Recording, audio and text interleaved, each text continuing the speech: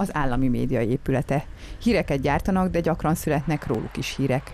Ez a cikk például arról szól, hogy Pap Dánielt, az MTVA jelenlegi programigazgatóját nyugodtan lehet hírhamisítónak nevezni azért, mert manipulatívan vágott össze egy riportot.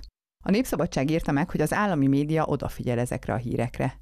Sajtófigyelésre, tehát a róla szóló információk összegyűjtésére, elemzésére, leíratok készítésére évi 16 millió forintot költ. A munkát a Média Néző Kft. végzi. Ez az a cég, amelynek tulajdonosa Habony Árpád üzlettársa, Győri Tibor. Közös cégük a Modern Media Group.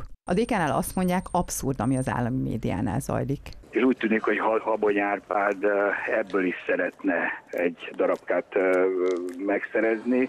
Ez már önmagában természetesen felháborító, de hogyha ez nem lenne elég, hát ez az egész közmédia közpénzeket folyamatosan habonyárpádok fideszes kezekbe jutat, juttatja. Az MTVA-nál viszont azt mondják, annak, hogy ezt a céget választották, nincs köze ahhoz, hogy Habonyárpád üzlettársának vállalkozásáról van szó.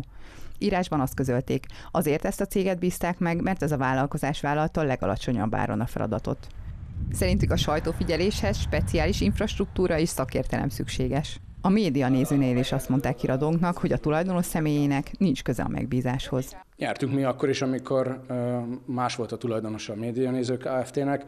Én azt gondolom, hogy úgy tisztességes, tudván, hogy mennyi munkát végzünk, hogyha politikai támadásokra, retorikai fordulatokra ezúttal most nem reagálok. A média nézőnek egyébként nem ez az első ilyen megbízása. A Nemzeti Fejlesztési Minisztériummal két alkalommal kötöttek szerződést sajtófigyelésre és más feladatokra. A cégnek 2011 óta összesen bruttó majdnem 3 milliárd forintot fizettek ki ezekért a munkákért.